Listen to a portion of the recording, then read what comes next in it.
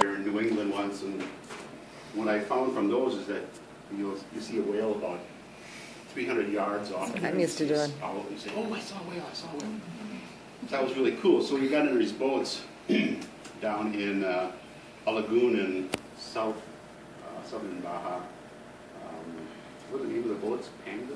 Fingers. Eight, They hold about 12 people. Um, And they take you out there, and the lagoon was the Ojo de Liebre, which we found out later was the eye of the jackrabbit. Oh! Heard various explanations on why it was called the eye of the jackrabbit, it didn't make sense, except for it looked like it was in the shape of it. But They took us out there, and as we were getting out there about maybe a half an hour going, in, and the lagoon is not a little lagoon, it's like five miles wide and 40 miles long. So it's a huge lagoon. Um, So we go out there, and of course, you see a spout about 300 yards away, and we all get excited. That was really cool. And uh, then you go farther, and all of a sudden, you get about 100 yards out, and you see it. It's like a silhouette of a whale out there. And it's just huge. Uh, Pacific gray whales, um, full grown, are about 50 feet long, and they weigh 88,000 pounds. So they're huge.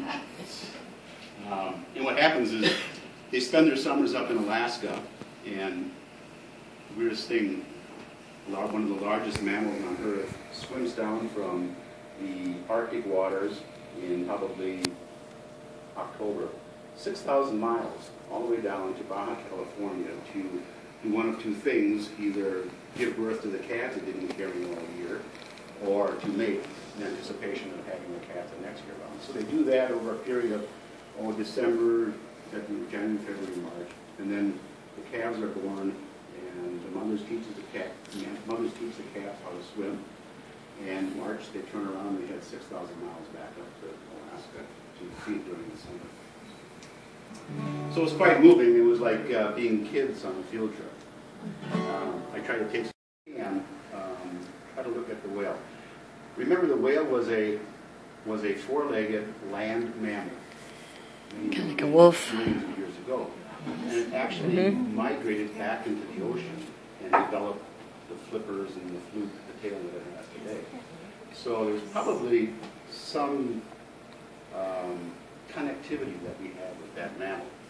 So you go out there, and the babies are born, and of course, they're air breathers. They have to go to the surface to breathe.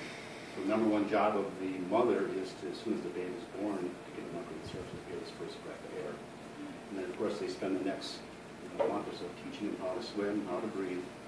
Um, but we gave him a lot of human qualities as we were out in the boat and it got closer to the boat. It was almost like the mother was showing off her child. She get underneath the baby and she lift the baby out of the water.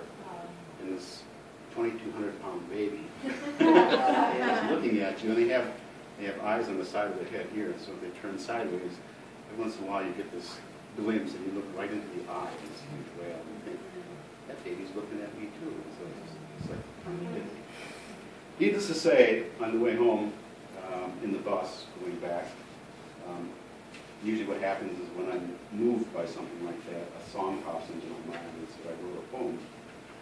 And as I was uh, picking up my guitar yesterday, I played a couple chords, and the next thing I knew, the, the poem became a song. Mm-hmm. But I don't know if I can remember the melody. I'll give it a try. And I asked my wife what should we call it, because we didn't know what to call it. So right now it's called my whale song. It's very original. Yeah, works. About the original.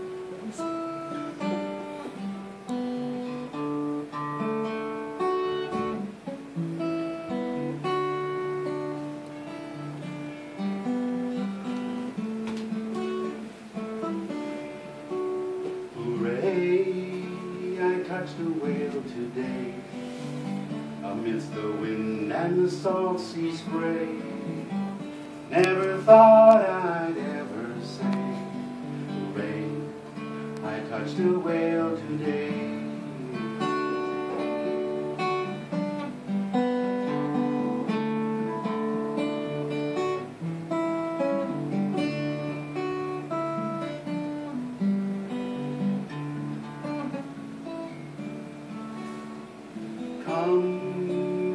Look in your eyes. Yes, I know that yours are never dry.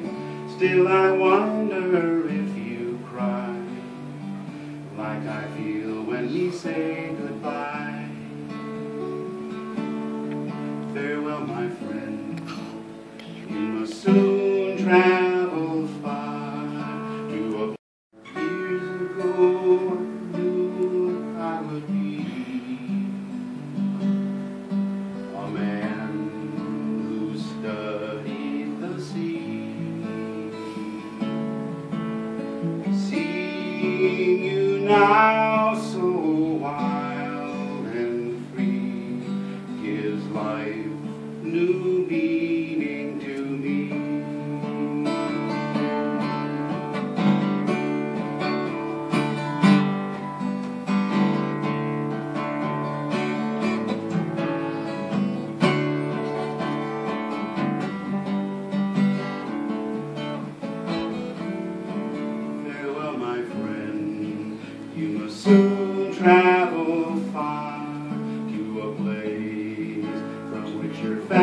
Family came. Know that I have been moved by your touch, and as such, I could not be the same.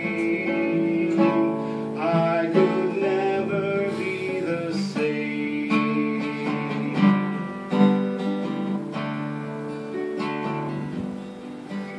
Ray, I touched the rail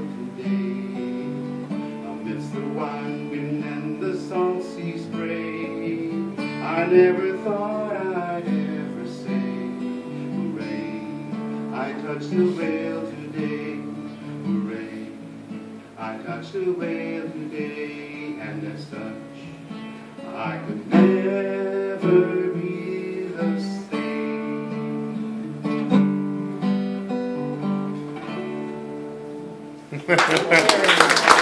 Johnson in Madison, studied biology, and then I went down to Texas A&M. And studied down there and got a PhD in oceanography. And, uh, and most of my friends were getting jobs with oil companies in the Houston area. But I landed a job with Amoco Oil Company in Chicago, so we moved back up to Chicago. And I was one of their um, environmental impact specialists for, for spills at sea. So my first job was, uh, Amoco had a spill, an oil tanker spill off of France in 1978, and so I was hired in 1980 to interpret the studies that were coming back from the impact of the ocean like over there. And I spent 29 years with them, and I retired in 2010, and then I went back to work with the Gulf oil spill. So first job with them, last job with them is world, world renowned oil spills.